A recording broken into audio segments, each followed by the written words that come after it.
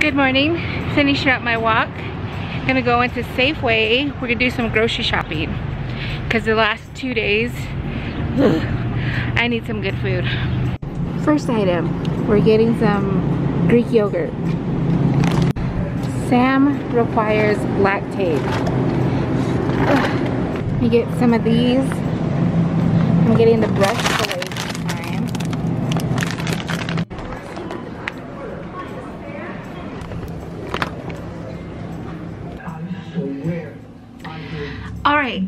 my walk. So how I do this sometimes is that I'll go on my walk, I'll take the long way around, I'll swing by Safeway, do a little bit of light grocery shopping, and then I'll carry it back in um, one of these reusable bags.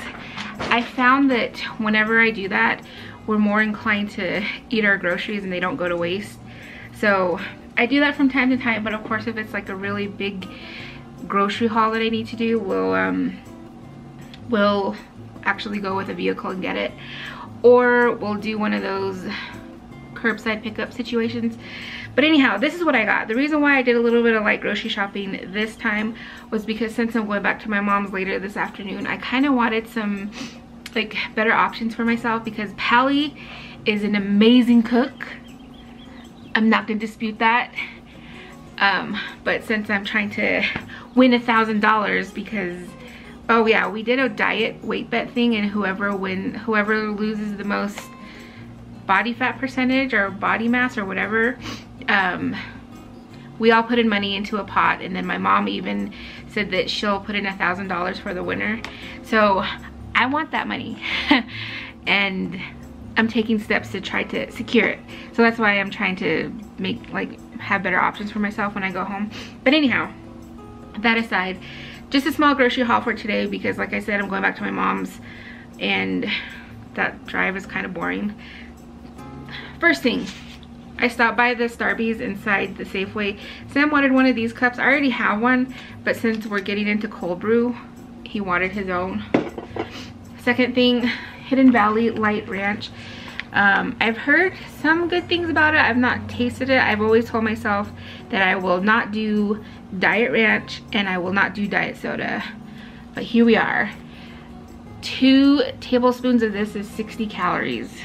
So hopefully it's good because it's a pretty decent sized bottle. I bought some more of these.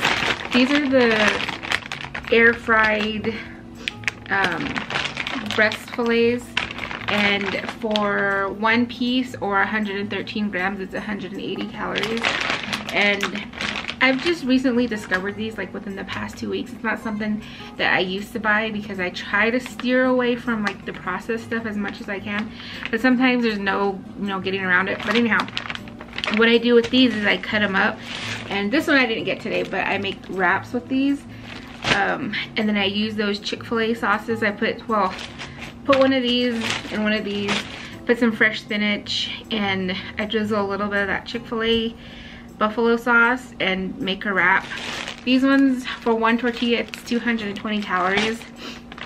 Um, I also got some of this, which I like with sandwiches. Uh, seven crisps, which is 28 grams, is 120 calories. Uh, it's a better alternative to regular potato chips. Course, Sam, his Lactaid. And for a cup of this it's 130 calories. I'm just gonna put that right there.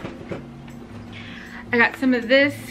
I was able to find the combination of turkey breast and honey ham because Sam likes ham for